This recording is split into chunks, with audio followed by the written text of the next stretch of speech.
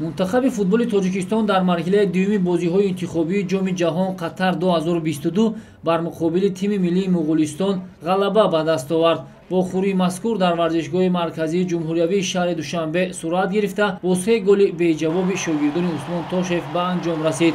Ҳисобро ҳамлагари мунтахаби тоҷикистон манучер ҷалилов дар дақиқаи сеюми бозӣ боз кард дар қисмати аввали рақобат миллипӯшони тоҷик ду маротибаи дигар тӯбро ба дарвозаи мунтахаби муғулистон ворид намуданд аммо довари марказ ин голҳоро бо сабаби қоидавайронкунӣ ба инобат нагирифт.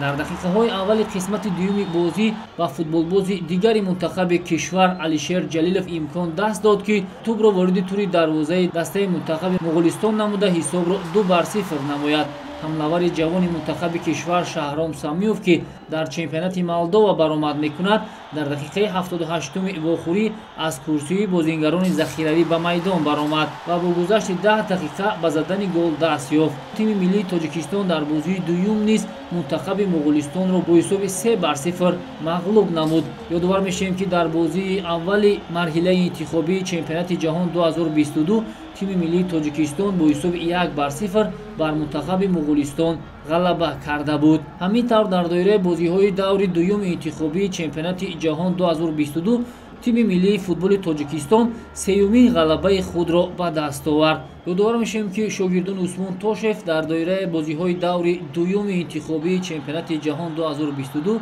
вохӯрии навбатии худро дар сафар бар муқобили тими миллии ҷопон санаи 6 июни соли 2021 баргузор менамояд якумш ҳамая мехоҳам табрик кунам. Недавно наврӯзӣ буд ба праздники наврӯз муборак бошад. Хай далгарзани бозии футбол хайрат футбол сар шуд. Барои ҳамая праздник шуд. Э, хеле хурсанд шудем ки мо бозия имрӯз ғалаба кардем. Э, ба бозӣ чӣ гӯям? Э, аввал минути ягон панҷ минут қин буду баъди аваз ба осон шуд Спасибо. Я тоже, в свою очередь, и от себя, и от своей команды, от федерации всех поздравляю. Что нас этот, поддерживали болельщики, было очень приятно. И ребята молодцы, конечно, хотел бы сказать, что настроились.